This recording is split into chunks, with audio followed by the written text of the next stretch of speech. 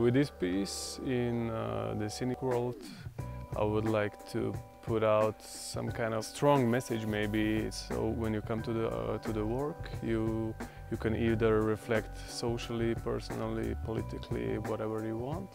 So stop what is the question. Should i stop? Where should i stop? Why did I stop when I go to a gallery or a public space? I intervene with some kind of letters or some kind of a, this kind of written messages. I want to come close to people with my art.